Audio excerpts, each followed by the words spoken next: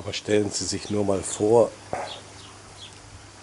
was los wäre, wenn alle Frauen nicht nur hübsch, sondern schön, sprich sublimationistisch wären.